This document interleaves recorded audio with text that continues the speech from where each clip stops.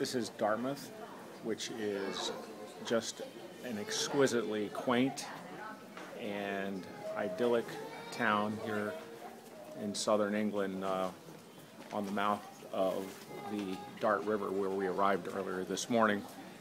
And uh, this is the real deal. This is just a beautiful, beautiful sea town. Would come back here in a second.